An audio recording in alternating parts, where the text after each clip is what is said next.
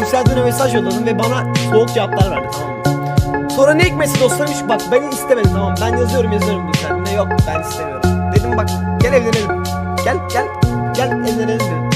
Gel seni kaçırayım köye de köyde otururuz. Yok dedi ben istemiyorum. Sonra dedim iyi sen bilirsin. Dostlarım sonra ben bıraktım. Ne uğraşacağım yani?